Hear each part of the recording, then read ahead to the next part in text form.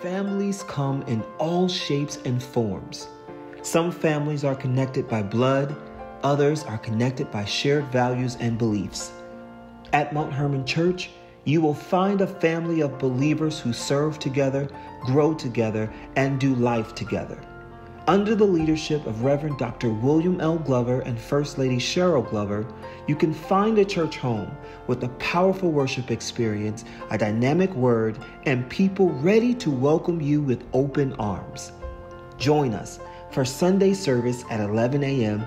Visit our website, engage with us on social media, and be a part of the Mount Hermon family. Welcome!